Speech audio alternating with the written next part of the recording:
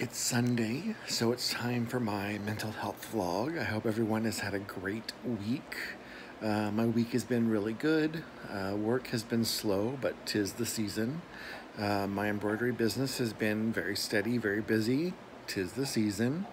I've been working really hard trying to make sure that I get orders out um, in time for people to receive them for the holidays.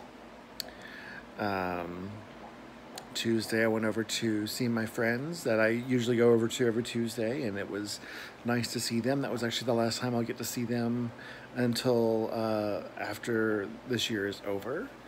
Um, on uh, Wednesday, I got to see uh, my boyfriend, and Thursday, I had my meeting, and then Friday, uh, I got to see my son. And oh, I was so excited.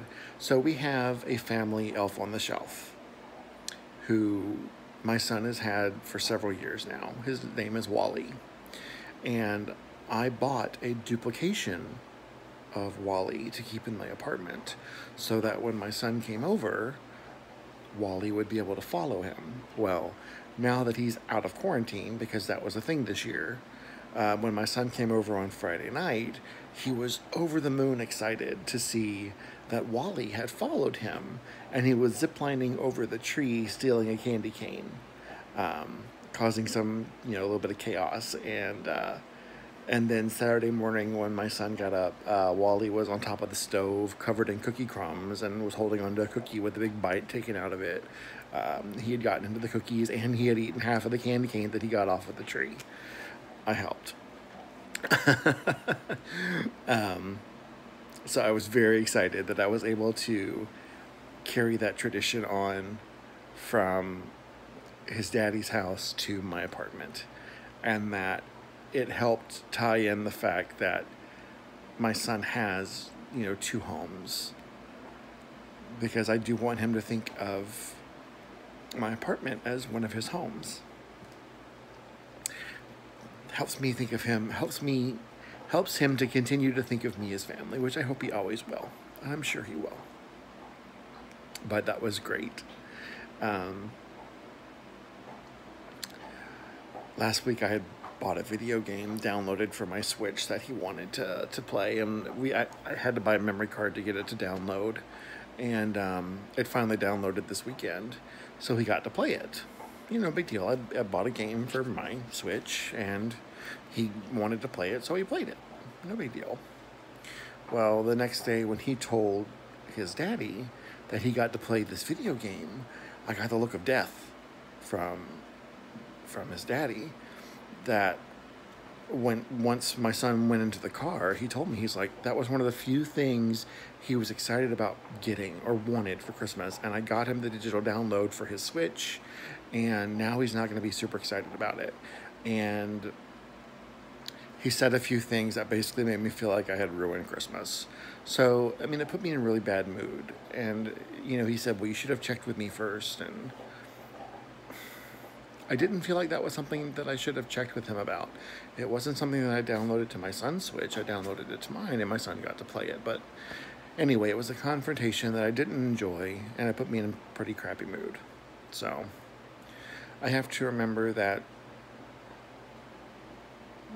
I felt the same way I'd always felt when my ex was mad at me. And my boyfriend helped me realize that he doesn't get to make me feel that way anymore. So I just kind of analyzed it that I felt that the anger was misplaced and let it go.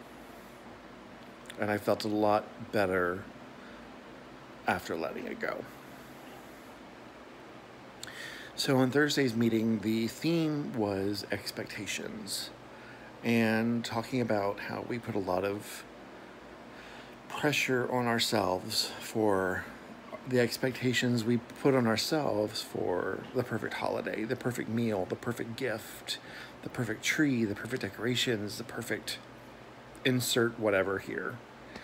And um, I didn't really have a lot to share at the meeting in regards to expectations, but one of the things I thought about afterwards was I have been putting a little bit of uh, high expectation on myself because this will be my fir- my son's first Christmas in two different homes, and um, he will be at his house on Christmas morning, and then I will have him here Christmas afternoon and Christmas night, and Santa is visiting both places.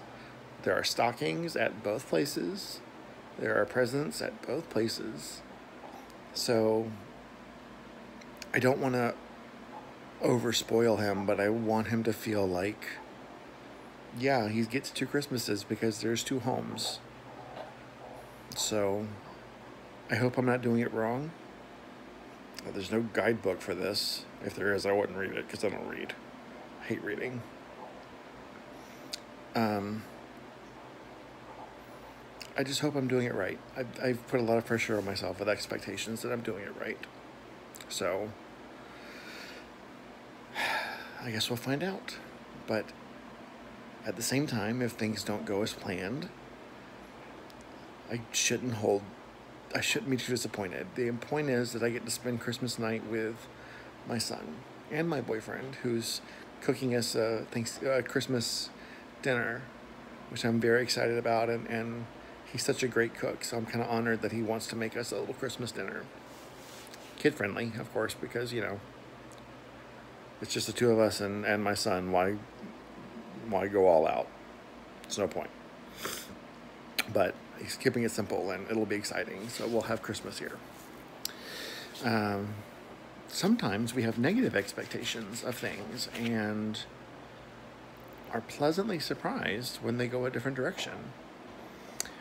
This afternoon, uh, my boyfriend and I were having an early Christmas dinner with his parents and his grandmother at his grandmother's house. And there's been a little bit of contention between he and his grandmother, uh, basic, largely based on uh, views um, mostly political, but other views, you know, world views, and, um, and and how she says and does certain things and treats certain people. So they've always had a kind of a contentious relationship. So when we were going there tonight, you know, she had already indicated that she had issues with the two of us dating. Like she's was okay with her grandson being gay, but you know, bringing a boyfriend around was different for her. So she had to kind of adjust to that. So when we went this evening, we were prepared for passive aggressive, underhanded comments, not feeling super welcome in her home. We were prepared for that. We expected that. And it was a lovely evening. She made me feel very accepted, very welcome. She engaged me. She asked me questions about my son. She it was legitimately just a lovely evening and it kind of threw my boyfriend and I both kind of for a shock like we weren't expecting that it it it didn't meet our expectations and that's a really good thing so was it an act? I don't know. Was she just pretending? But whatever it was, it was a lovely evening. There were gifts involved. Um, you know, she made a wonderful dinner. Um, hi. She made a wonderful dinner. Um, we played a, a, board game afterwards and, and had some desserts, and it was just, it was lovely. It was pleasant. And uh, I felt very welcome and accepted. which again I, I didn't expect. So I hope that that continues. I hope that, excuse me, I hope that she continues to work on, Scoot, continues to work on being accepting, being loving, and realizing that some of her views can cut people out of her life. So, a great expectation was broken today, and I could not have been happier with the way it turned out. And that's why my vlog is so late tonight because it's 10:15 and we just got home a little bit ago. So, it's been a long day. We delivered cookies to some people and don't worry, it was all social distanced. Um, and then just got back from the dinner. So, anyway, I guess that's my time for this week, guys. Uh, Christmas is on Friday. If you celebrate Christmas, I hope you have a wonderful Christmas. I know things may not go exactly as you've planned. It's 2020. Nothing has gone exactly as anyone has planned. But appreciate what you have, appreciate who you have it with. And uh, I hope everyone has a very, very Merry Christmas.